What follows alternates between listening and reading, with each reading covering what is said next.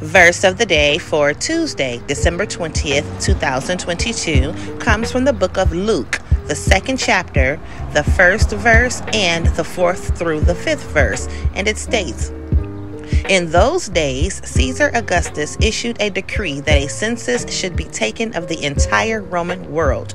So Joseph went up from the town of Nazareth in Galilee to Judea, to Bethlehem, the town of David, because he belonged to the house and line of David. He went there to register with Mary, who was pledged to be married to him and was expecting a child. What are the thoughts on that?